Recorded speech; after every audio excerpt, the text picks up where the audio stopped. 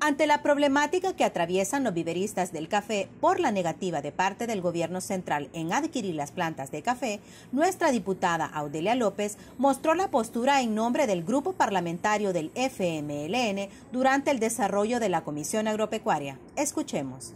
Este esfuerzo que tienen ustedes de el trabajo en el vivero no solo contribuye a la generación de empleos del país, que ya falta hace, ven las encuestas, las últimas encuestas, donde la población se queja porque una de las mayores dificultades es el tema del ingreso.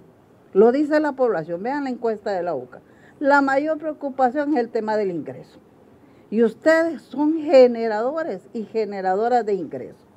Pero a la par de eso, el tipo de actividad que desarrolla permite ser un hecho de prevención del delito, de prevención de la violencia. Miren, esto es yo diría, yo si fuera el presidente de la República, estaría dando todos los recursos necesarios para esto, porque es una doble eh, función social que se desarrolla, una triple, medio ambiente, empleo, prevención de la violencia.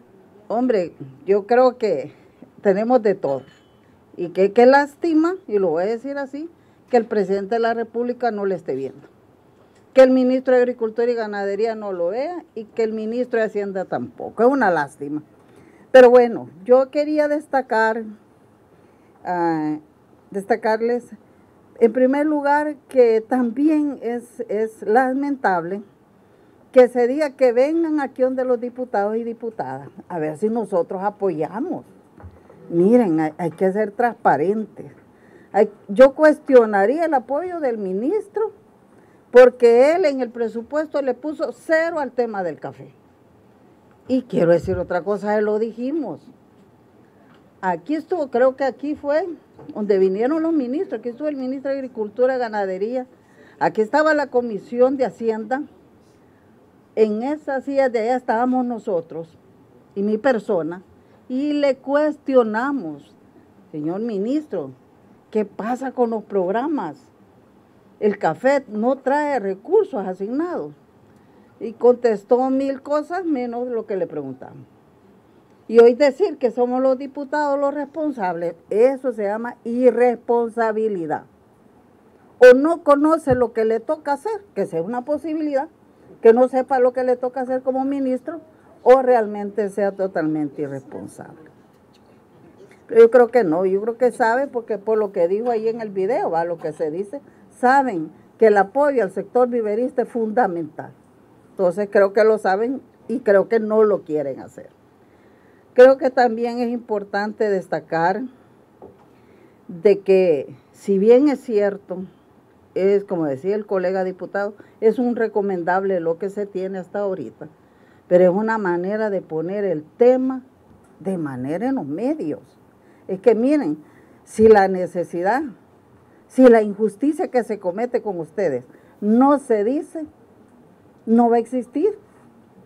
Cuando no se dice algo, no existe. Entonces hay que lograr que este tema se posicione, que la gente sepa que a ustedes los están dejando marginados y que ustedes están trabajando, han trabajado por este tema. Creo que es importante en ese sentido. Es un llamado a la conciencia del gobierno central con el tema de los viveristas, aunque sea un recomendable.